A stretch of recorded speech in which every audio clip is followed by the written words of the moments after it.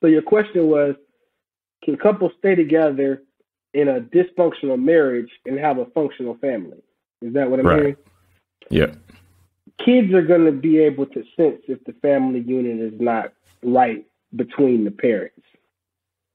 I would advise that if you're considering divorce or if it's not working out right with you and your partner, focus on working on you because whatever you guys produce is going to trickle down to the kids. So it's not me or the therapist or anyone's right to tell you what to do. But I will say kids are smarter than you think they are, and they can sense the anxieties around the parents not gelling. And that's something I look back on in my own life and reflect on. Although in my mind or my imagination, I would have wanted my parents to stay together. But a lot of the anxieties I have as an adult come by way of those tense moments that I experienced as a kid, and I just didn't know what they were.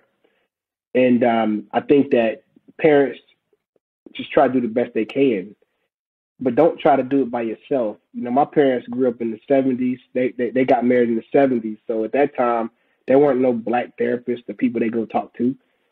And, and my mom's dad, my grandfather was a pastor, so she had to conceal everything because everybody in town knew who she was. Times are changed now. You got so many different accessibilities to mental health care and counseling that are private. So I would suggest those couples go get help and not try to just fix it yourself, thinking that you're saving the kid. Because the kid might look at y'all and be like, y'all should have divorced a long time ago. so